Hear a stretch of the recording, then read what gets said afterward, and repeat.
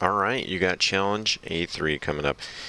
If I were starting this thing, I would draw a rectangle to start, right? And it would be a 4 by 3 rectangle. Then I would probably cut out these little triangle pieces right here that we see. And it's right there. There's the dimension for it.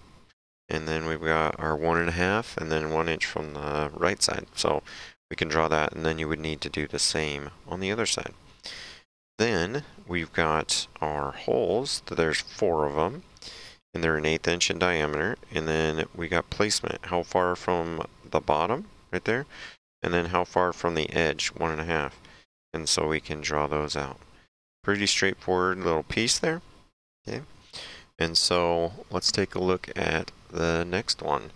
We've got, um, if I was going to draw this, I would start by making these central holes and then put these on in one sketch and then make sure that the distance was correct between them.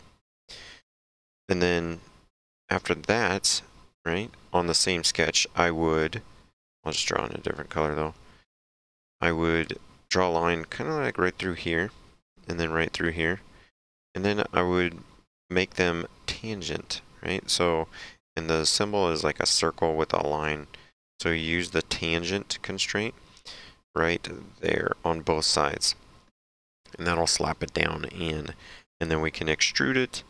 Um, and, you know, this one's there, but it's not really relevant.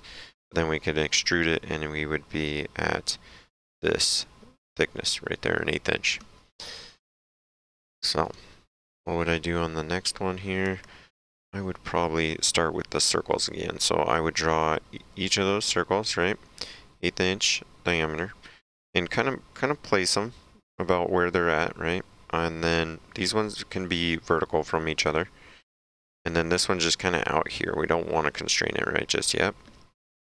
Then I would um, figure out how far apart they're going to be, right? So we could use those as we start to dimension this thing. Okay. Then we can also make the outside circles, right?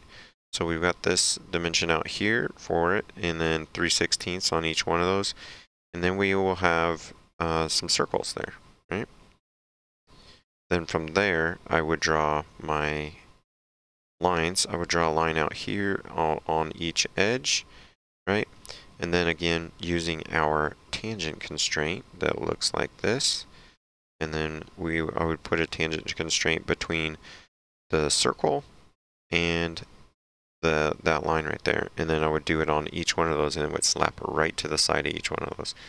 And then lastly I would go and extrude it right for an eighth inch. That is the process I would go through.